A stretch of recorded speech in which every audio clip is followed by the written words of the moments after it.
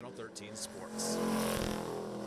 Holly taking on Flatirons Academy in the Class 1A state championship today. Holly pitcher Bridgeton Parker throwing flames. He struck out 13 in this game.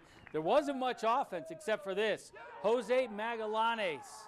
And this is a no doubter over the left field wall. Enters the mosh pit. And it was a low scoring affair. The Wildcats recording the final out as the town of Holly celebrates as Holly wins the Class 1A state championship by beating Flatirons this afternoon, one to nothing. Unbelievable. I just can't believe I did it. And then at a big stage like this and the state championship, it was crazy.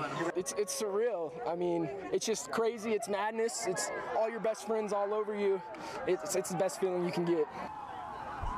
So, congratulations to Holly. Pretty big deal winning a state mm-hmm. championship. And we've got more state championships coming up. Tomorrow, the state track and field championships begin. So, stick it right, Wow. right I'm here, just glad Carrie. with COVID and everything, they're all Oh. seeing out their final seasons for many of them. Oh yeah, finally, as opposed to last year.